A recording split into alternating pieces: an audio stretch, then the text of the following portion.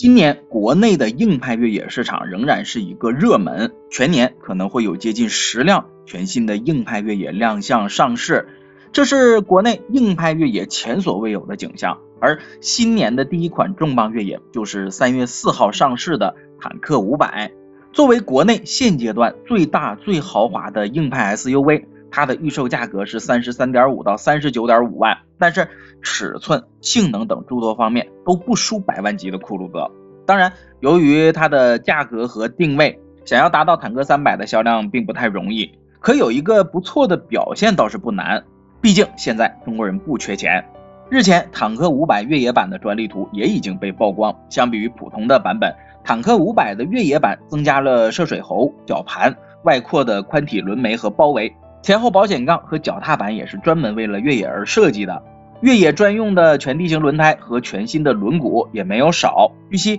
越野版的坦克五百可能不会配天窗，动力和内饰部分倒是没有什么变化，还是 3.0T 加 9AT 的动力总成，配分时四驱、三把锁、坦克转弯、蠕行模式等等全都有。而内饰方面同样也会很豪华，科技配置很高。